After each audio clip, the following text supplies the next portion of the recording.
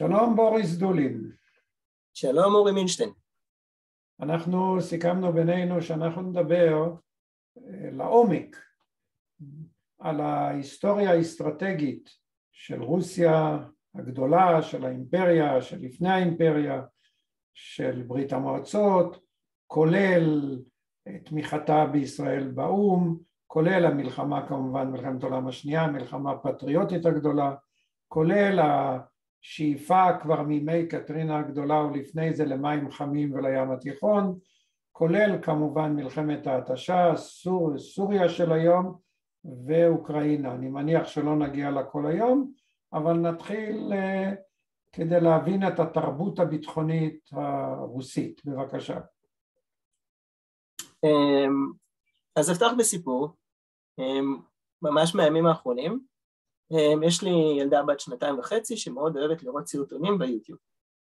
והדרך שלה לראות אותם זה פשוט לדלג מסרטון לסרטון באמצעות המסכים הקטנים בצד. בדרך כלל זה סרטים מצוירים וכל מיני שירים, אני מנסה לכוון אותה לכיוון של בוב דילן אבל פחות uh, בעניין.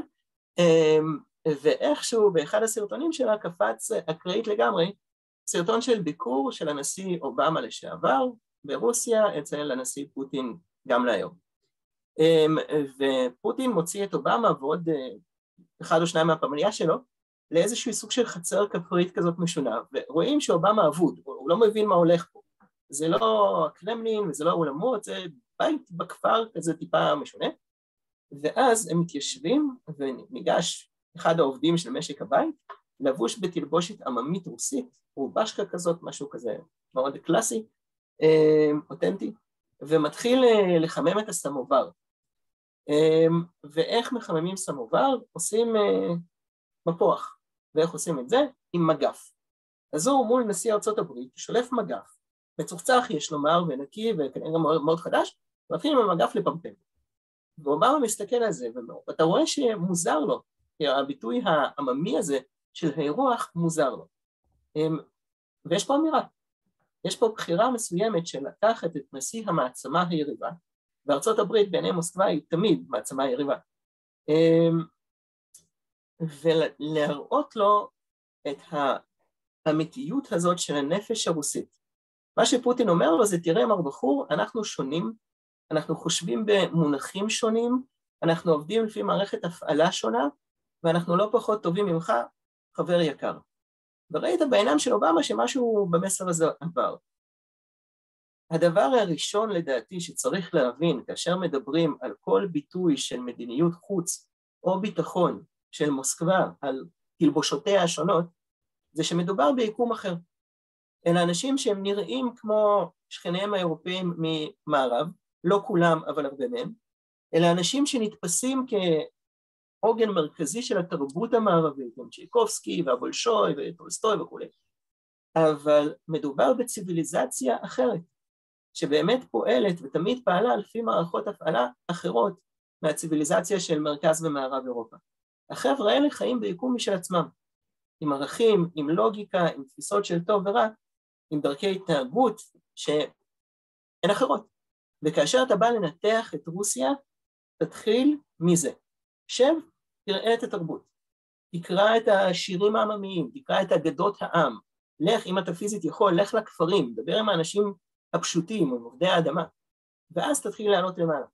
התיאוריות הגדולות והיפות שהמערב פיתח לו, התפיסה המערבית על זה שבכלל יש איזה אמת אוניברסלית, נכשלת גם ברוסיה. וכשזה נכשל מול רוסיה, כשזה נכשל מול מוסקבה, ההשלכות של זה עשויות להיות מאוד מאוד מאוד קשות. אמ, אז זה נאום הפתיחה הקטן שלי, אמ, ואני אספר בשתי מילים מה, מה בעצם המומחיות העיקרית שלי, ואז אולי נגלוש אה, לאיזשהו. קודם כל, אתה בעצמך נולדת ברוסיה.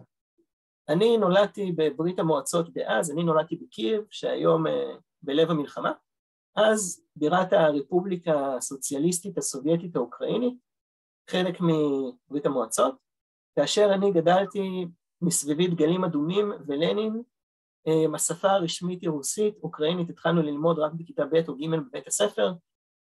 אני ילד סובייטי, שההורים שלו... אני רוצה להעיר לך שאני, שאבא של זה שאני נין שלו היה רב אה, של יהודי, של יהודי קייב, נו, אולי אנחנו אפילו משפחה. הרב מנדלשטיין, בכלל את השם מנדלשטיין, שמעת? שם טוב ברוסיה.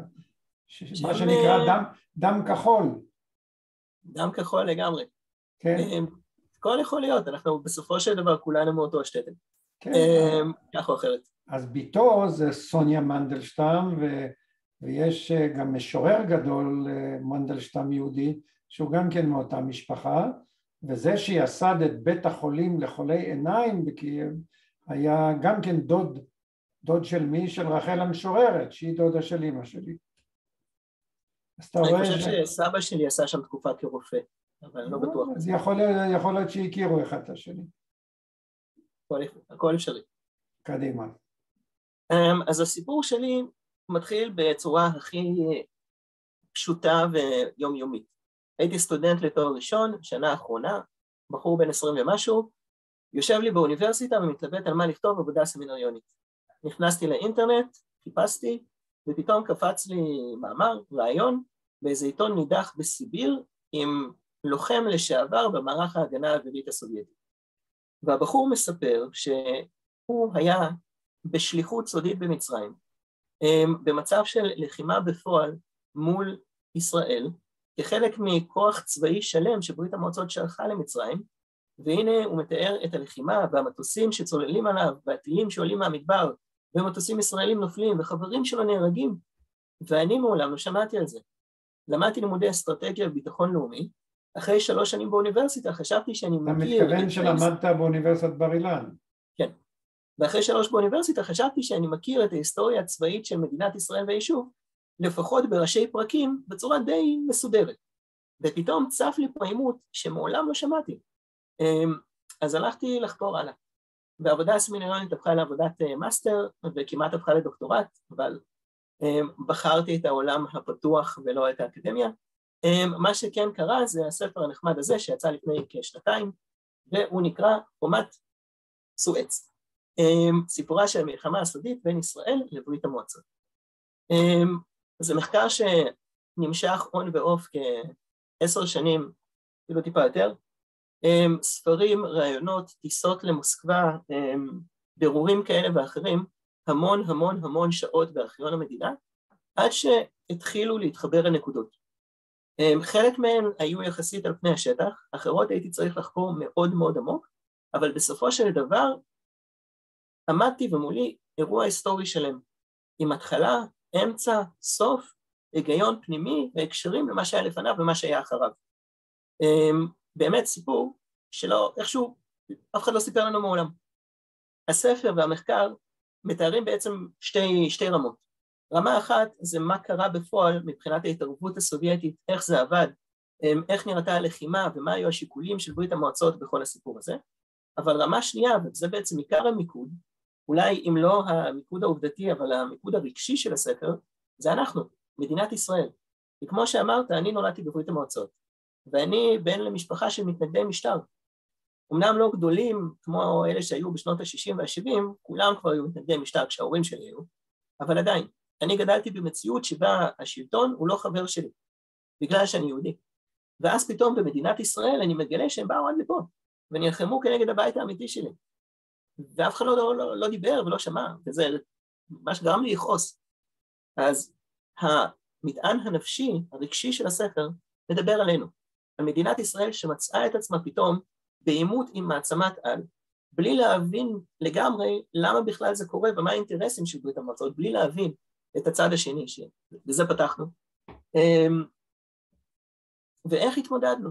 איך התמודדנו עם לחימה כנגד האימפריה הגדולה הזאת, מתוך מודעות לזה שזה יכול להסלים למקומות מאוד מאוד אפלים. אמ, וכמובן, כל זה מאוד רלוונטי למצב שבו אנחנו מוצאים את עצמנו היום, או בעצם מצאנו את עצמנו כבר לפני שבע שנים. כאשר מוסקבה בלבוש הנוכחי שלה, הפדרציה הרוסית בגרסת 2015 והלאה, הגיעה אל סף דלתנו שוב, לסוריה ודמשק אמ, וכל אותם המקומות. אז בוא נחזור, בוא נחזור אחורה, נתחיל לפי הסדר.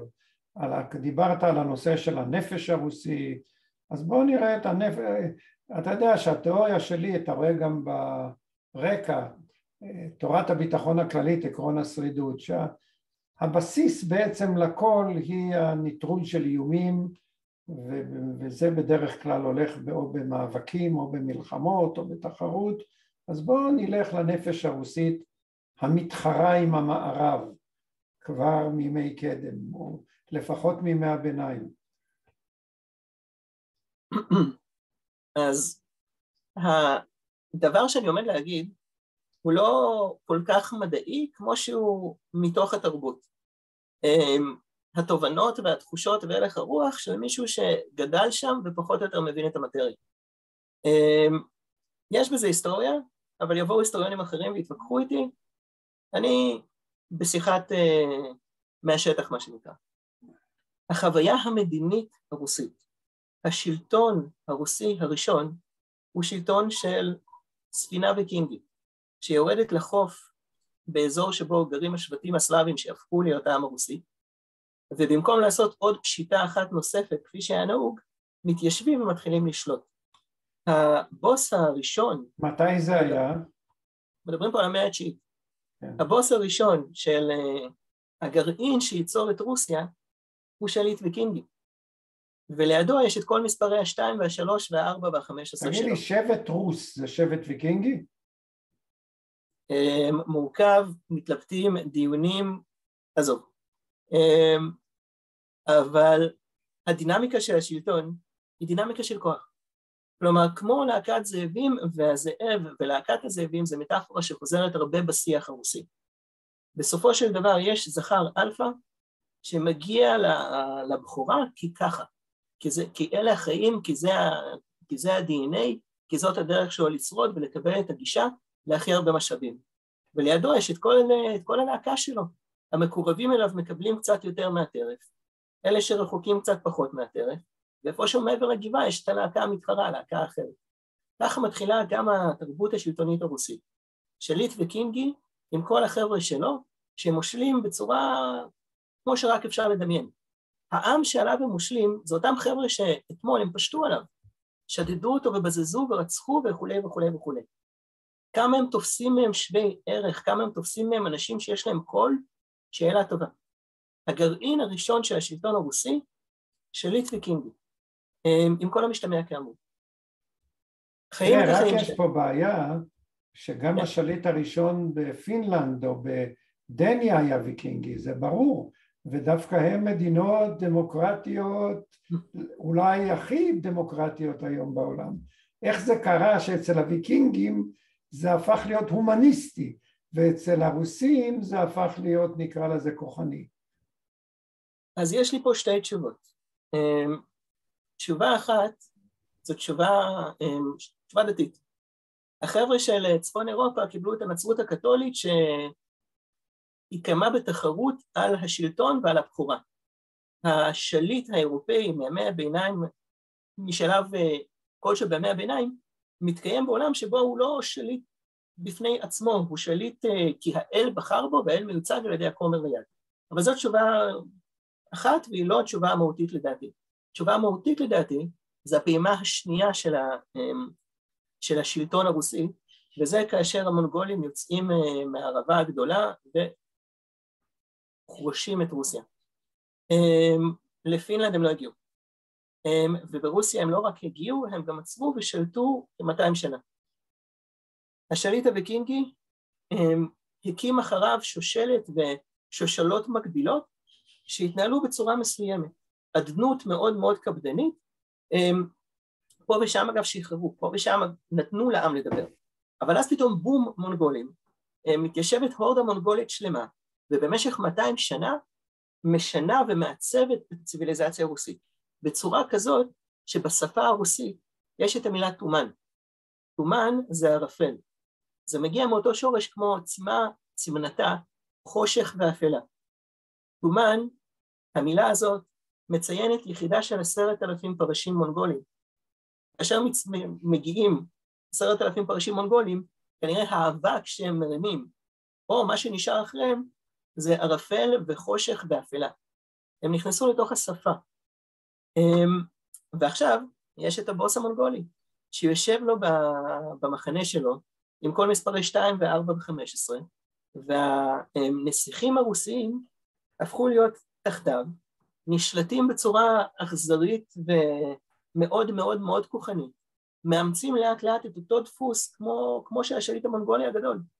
אמ, והרעיונות של דמוקרטיה, של האדם הפשוט כמשהו שהוא שווה ערך לשליט, פחות, פחות.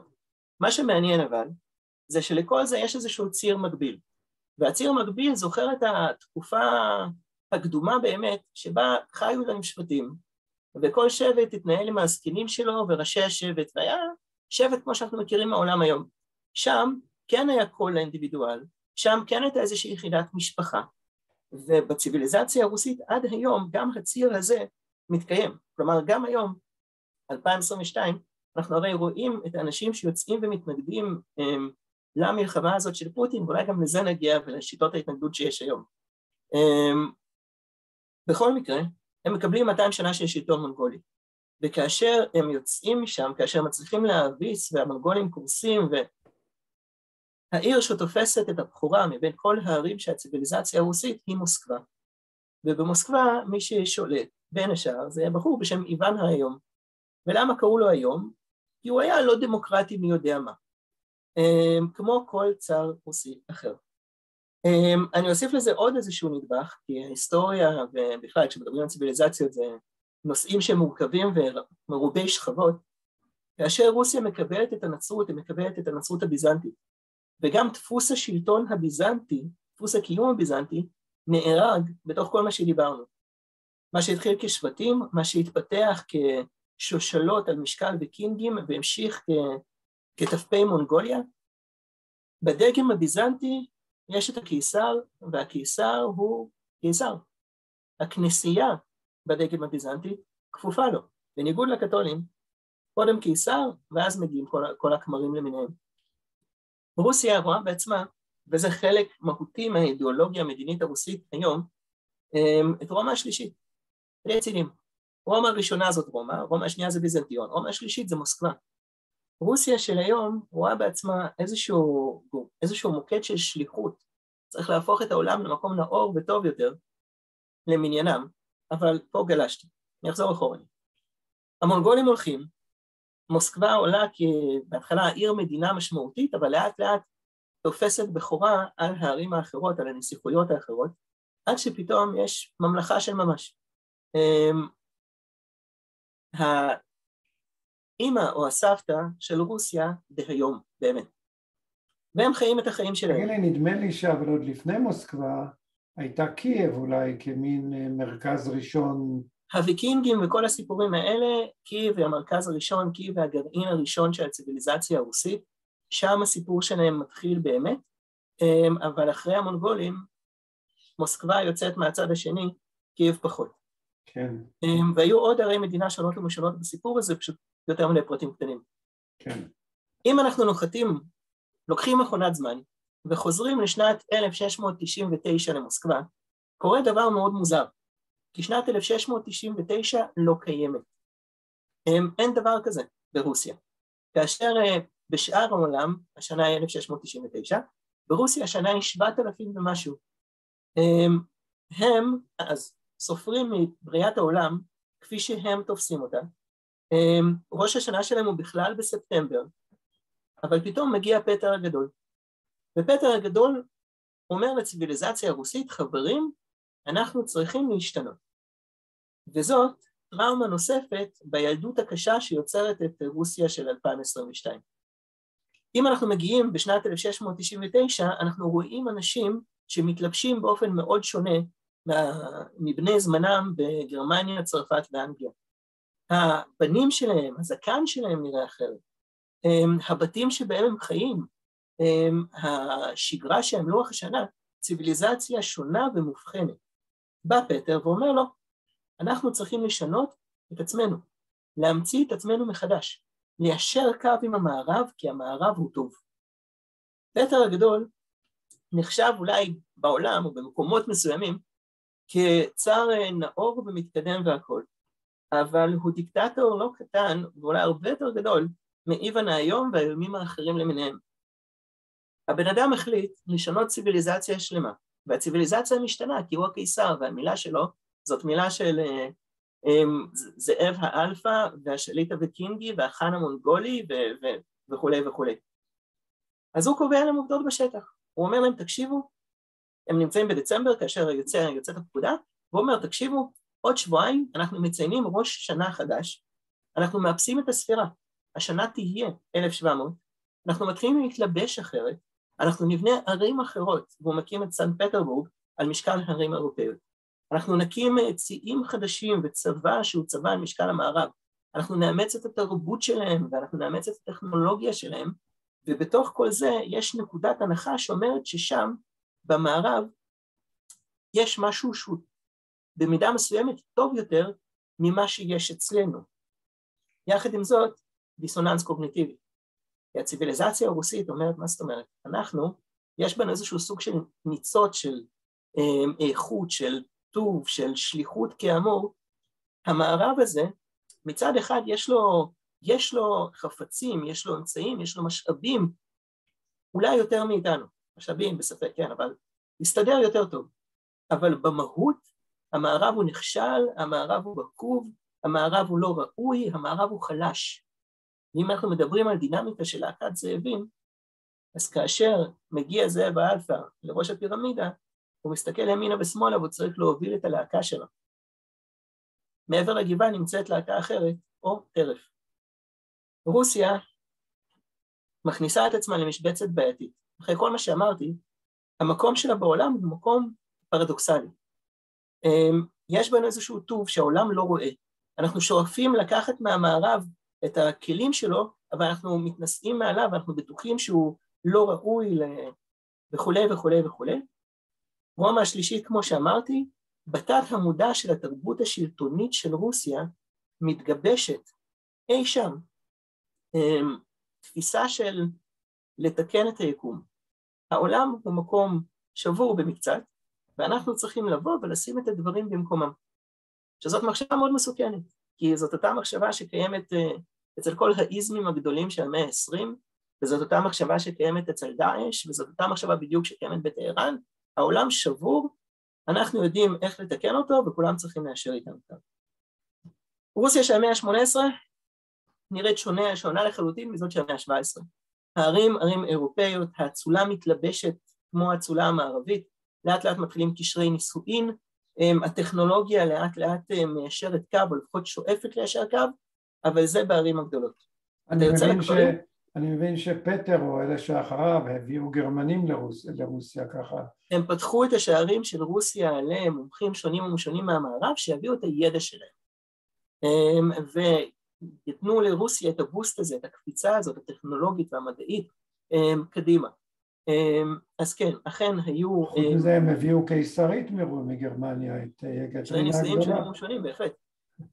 הייתה נוכחות מערבית ברוסיה, זה התחיל עוד לפני פטר, ואחת הסיבות לזה שפטר הגדול מחליט לשנות את הציוויליזציה הרוסית זה בגלל שבתור נער צעיר הוא הסתובב במושבה הגרמנית במוסקבה, ראה אותם, ראה את מוסקבה שמחוץ למושבה ואמר, אני רוצה כמוהם.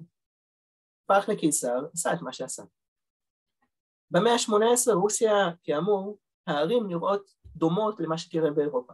אבל יצאת לכפרים ואתה רואה מציאות שלא השתנתה הרבה במאות השנים האחרונות, הרבה מאוד שנים. אותם מבני עץ, אותן, אותם מנהגים, אותן מסורות כפריות, אמ, אותו היגיון. עד היום? עד היום? עד היום, עד היום. כאשר אתה הולך למה שנקרא ברוסית גלובינקה, מלשון גלובינה, עומק, למעמקי המדינה, למעמקי היבשת, אתה פוגש אוכלוסייה שהיא הרבה פחות אה, מעורה בתרבות המערב מאשר החבר'ה של מוסקבה וסן פטרבורג.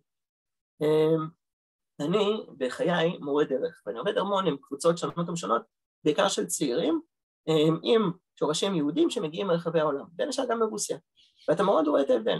אה, מן הסתם לא, לא, לא רק ברוסיה, גם במדינות אחרות יש את הדינמיקה הפנימית שלהן, אבל כשאנחנו מדברים ספציפית על הפדרציה הרוסית, אתה באמת רואה הבדל בין, בין, בין אנשים שחיים את חייהם בערים הגדולות, בסן פטרבורג ומוסקבה, לבין אלה שמגיעים מערי השדה השונות ומעבר לערי אורל, המנטליות משתנה. והתוספת, התבלין המערבי שקיים בערים הגדולות, קיים פחות, בצורה פחותה משמעותית ככל שאתה מתרחק מזרחה. במאה ה-18 רוסיה יוצאת לזירה העולמית, מתחילה להשתתף במלחמות הגדולות, מתחילה לשחק במשחק הגדול שמתנהל באירופה. במאה ה-19 זו דינמיקה שממשיכה, ופה קורה אירוע מכונן. שוב, בשביל התרבות השלטונית הרוסית. בשנת 1812 מגיע נפוליאון, פולש לרוסיה, משתלט על מוסקבה, ולכאורה מנצח. אבל אז לא. תגיד לי, ש... אם אני לא טועה לפני זה, פלש לרוסיה מלך שוודיה. היו מלחמות הצפון כנגד השוודים אופרה או. שלמה, כן. מלחמות נפוליאון יושבות פה על, אה, אה, על תהליך מאוד מאוד ספציפי. המלחמות עם שוודיה נתפסו ברוסיה כמשהו שהוא יחסית מקומי. השוודים שכנים שלהם מצפון, מדינה חזקה בשעתו, זה סיפור בינינו לבין השכנים. נפוליאון זה אופרה אחרת. נפוליאון מגיע ומצליח להשתלט על לב המדינה, אבל אז חוטף תבוסה, העם מתקומם, הצבא נלחם, מבעירים עליו את מוסקבה, והוא נמלט והם רודפים אחריו כל הדרך, ל... כל הדרך למערב אירופה. כאשר מסתיימות מלחמות נפוליאון, הוא באופן סופי מאבד את הקש שלו, ואירופה מתחילה um, להמציא את עצמה מחדש, או בעצם להמציא את עצמה מישן, אם כבר, לחזור לריאקציה, רוסיה מופיעה פה פתאום על משבצת המושיעה הגדולה. Um, השליטים של אירופה, כל המלכים וכל הקיסרים וכל מי שחזר כשנפוליאון נפל, היו זקוקים להם.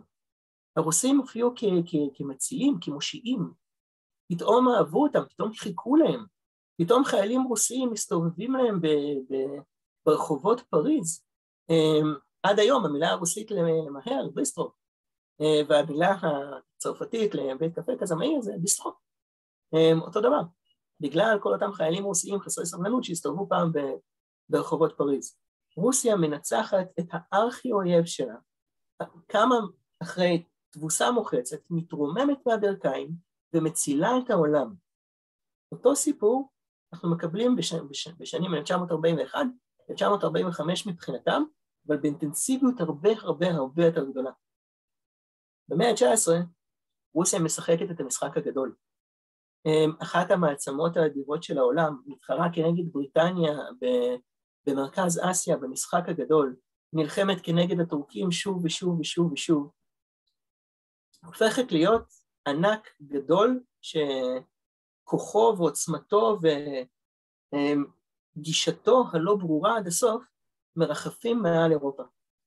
אמ, ואז מלחמת העולם. ואז מלחמת העולם, אמ, כאשר הכל מסתבך, אתה מדבר מלחמת העולם הראשונה. הראשונה. מלחמת העולם הראשונה, כאשר פתאום הכל מסתבך, כאשר uh, המחאה הציבורית שהתעוררה בדורות האחרונים כנגד שלטון הצער והאריסטוקרטיה וחוסר הצדק, תופסת תאוצה. Um, כאשר פתאום האדם ברחוב אומר, חברים, בואו בוא, בוא נעשה פה שינוי, ואלה רוחות שלא נשמעו כל כך בדורות הקודמים, ורוסיה נופלת. הקיסרות הרוסית עם הסמלים שלה, עם הטקסים שלה, עם ההיסטוריה שלה, הקיסרות הרוסית נעלמת בפברואר 1917. אבל היא נעלמת בין היתר בגלל הכישלון בשדה הקרב.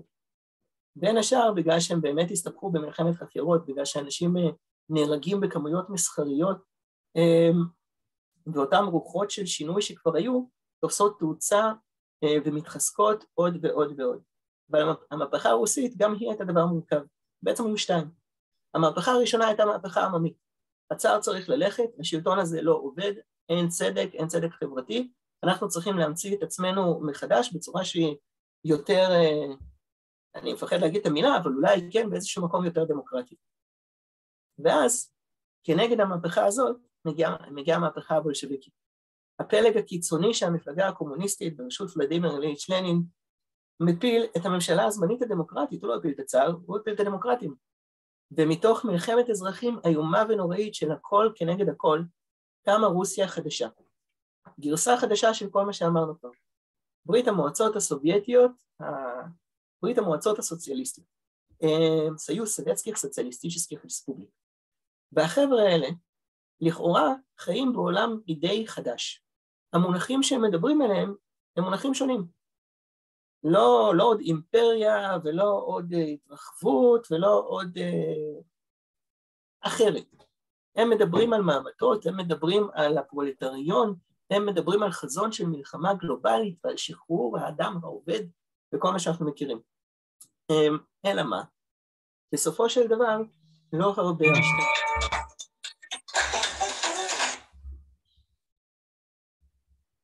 כן, תמשיך. בסופו של דבר, לא הרבה השתנה. אמ, מה לא השתנה? עדיין מדינת ענק, עם מוסקבה במרכז, עדיין מדינת ענק שיושבת על הלוגיקה ועל התרבות הרוסית, למרות שנוסף לזה נופח של אידיאולוגיה אחרת, עדיין מדינת ענק שהיא שואפת אה, לשנות את המציאות הקיימת, לשלוח את הכוח שלה ולשנות את השחקנים שמקיפים אותה והלאה עד אינסוף בעצם. אה, מהבחינה הזאת הכל נשאר באותו דבר, פשוט התחילו לדבר במושגים קצת אחרים. אה, וכאן אני רגע אעשה פאוזה, כי כרגע אנחנו מדברים פה על התפתחות של החשיבה המדינית הרוסית, ואני רוצה לדבר שנייה על היבט אחר. כן. על תפיסת ההסתערות הגדולה מערבה. משהו שהוא הרבה יותר צבאי מאשר, מאשר מדיני. כן. אמ, כמו שכבר אמרתי, כמו שכבר אמרתי, המדינה הרוסית הוקמה על ידי חבורות של פושטים כאלה ואחרות. אם זה הוויקינגים הראשונים ואם זה כן. מונגולים שבאו, הרעיון של הנה אנחנו דוהרים אל מעבר האופק ופושטים על מי שנמצא שם, מוטמע בשורש ה-DNA. אבל זו אמירה שנשים אותה רגע על המדף, כבר דיברנו על זה. האמירה השנייה היא שמאז פטר הגדול והדיסוננס שכבר תיארתי, האויב הגדול של רוסיה, היריב הגדול של רוסיה, נמצא מערבית מהם. אמ, אפשר להגיד שגם קודם המערב היה כיוון בעייתי עם שוודיה ופולין וכולי, אבל מאז פטר הגדול יש משהו בין הציוויליזציות, יש איזשהו סוג של תחרות בין הציוויליזציה הרוסית לציוויליזציה של מערב אירופה. ויש כמיהה ללכת מערבה. כמיהה מוצאת מענה בסיפור של מלחמות נפוליאון כאשר הם באמת הלכו מערבה. אמ, הכמיהה הזאת מתורגמת לתוכניות צבאיות מאוד מאוד ספציפיות של ברית המועצות בראשיתה. כאשר המהפכה מפילה את רוסיה הקודמת, כאשר ברית המועצות עולה וצומחת, החבר'ה האלה חולמים על עולם תחת הדגל האדום. החזון הוא גלובלי. ברית המועצות זה מה שבינתיים הצלחנו, זה מה שתפסנו עכשיו, אבל אנחנו לא, לא, לא נעצור בזה. ויש שתי אסכולות. אסכולה אחת אומרת עכשיו, אסכולה שנייה אומרת נבנה כוח ואחר כך. טרוצקי הוא מהאסכולה של עכשיו. הם, והם מנסים, ב-1920 הצבא האדום מנסה לפשוט מערבה, להסתער על מרכז אירופה המנוונת, הקפיטליסטית, המנצלת וכולי וכולי, במקביל למהפכות קומוניסטיות שצצות להן פה ושם במערב אירופה, והן מדוכאות בצורה די חריפה. הם ניסו והם לא הצליחו. בשנות ה-20 ושנות ה-30 יושבים להם הגנרלים של ברית המועצות ומתכננים את ההסתערות הגדולה, את המלחמה האחרונה שתבוא, את השחרור של המין האנושי, כאשר האויב הקפיטליסטי הוא לא נמצא בקוטב הצפוני והוא לא נמצא באוקיינוס השקט והוא גם לא נמצא מדרום להם במונגוליה וסין. האויב הקפיטליסטי, השחרור של, ה, של העולם, הפרולטריון המורד וכולי וכולי, זה גרמניה וצרפת ובריטניה ובלגיה והולנד וסקנדינביה וזה החבר'ה האלה. ברית המועצות בונה הסתערות. אמ, ופה נושא שאני לא, לא רוצה להיכנס לדקויות שלו ואני אפתח אותו ברמת הכותרת, אמ, יש היסטוריון שנוי במחלוקת, חוץ ממך רות, אמ, יש היסטוריון שנוי במחלוקת, שמביא אמירה מאוד מאוד חזקה לדעתי ומקובלת עליי לחלוטין, בשם ויקטור סובורוב, שם העט שלו, סוכן של המודיעין הצבאי הסובייטי שעורק למערב בסוף שנות ה-70 מתחיל לכתוב היסטוריה, בעיקר של מלחמת העולם השנייה. וסובורוב נכנס לפרטי הפרטים של התכנון של ההסתערות הגדולה. כאשר סטלין בשנות ה-30 בונה את הצבא החזק בעולם, עם כמויות אסטרונומיות של מטוסים וטנקים, ציוד שמתאים, טכנית, מתאים להסתערות מערבה, טנקים שמשילים את, ה, את השרשראות ונוסעים על הגלגלים. איפה אתה יכול לעשות את זה? לא ברוסיה ולא בסין כנראה. מחלק שיחונים בגרמנית לחיילים שלו. רואים ערימות ענקיות של מדים ונעליים על הגבול המערבי, הם נערכים לפשיטה הגדולה שתשחרר את אירופה. אבל מה? מקדימים אותם. ולפי סובורוב, ושוב, דעתו מקובלת עליי, אפשר ללכת ולקרוא, הספר שלו נקרא לדקו, בוקע הקרח בעברית, תורגם לעברית, פורסם, כל העותקים כבר מזמן נעלמו. אתה יודע שסובורוב היה בארץ, וביקשו ממני חברים שלי לברך אותו בפגישה שהייתה בבית העם, ואני בירכתי אותו בעברית ותרגמו את זה לרוסית, ומה הוא השיב? לא תאמין. הוא השיב? כשאני לפעמים ככה מדוכדך, על יד אה, המיטה שלי ישנם הספרים של דוקטור אורי מילשטיין. ואז אני קורא אותם, קורא, ואני אומר, אם ככה הוא כותב, אז סימן שיש לי סיכוי. ואחרי זה אני פרסמתי בשנת 2010 את הספר שני כרכים, דרך רבין ומורשתו, ויש שם גם פרק של סובורוב. אז הנה, לא סתם המוח שלי עשה את הקישור ביניכם. זאת אומרת, אם אני מספר סיפור, אפשר להגיד, אורי מספר סיפורים, מגזים כדי ככה לקבל משהו מסובורוב, אבל יש, יש בספר שלי, ישנו סובורוב, זאת אומרת, הוא חתום, לא אני כתבתי, הוא כתב. טוב, אז אני מציע שאנחנו, כמו שדיברנו, נעשה הפסקה של כמה שניות. אני רק אגיד משפט אחרון מסכם לפרק הזה, ואז נעשה הפסקה. לא, יש לך עוד, תמיד, הפרק הזה, ש... הפרק הזה מתרחב לברברוסה. אתה יודע מה? אין שום בעיה. נעשה באמת הפסקה מתודית. ניקח את ברברוסה ונסביר על ידה את, ה, את הבעיה הרוסית, אם אפשר לומר. זה די דומה, די דומה למה שקורה היום, גם מלחמת החורף עם פינלנד. אז בואו בוא, בוא נעצור פה רגע. אהבתם? לחצו לייק. חשוב בעיניכם? לחצו שיתוף. פרטים נוספים לרכישת ספרים בכותרת. להתראות בסרט הבא.